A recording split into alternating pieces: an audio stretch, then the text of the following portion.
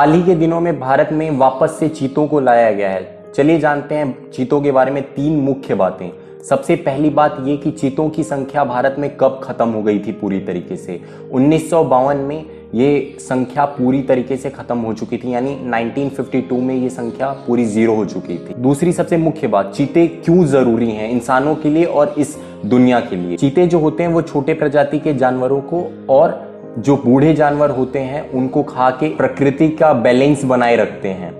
और साथ ही जो बहुत सारे पेड़ पौधे हैं, उनको नष्ट होने से बचाते हैं। शाकाहारी जानवर होते हैं, उनको खा के पेड़ पौधों को भी सुरक्षित रखना इनका काम होता है। तीसरी सबसे मुख्य बात, इनकी एग्जिस्टेंस बोली जाती है, पाँच हज़ार साल से भी पुरानी है।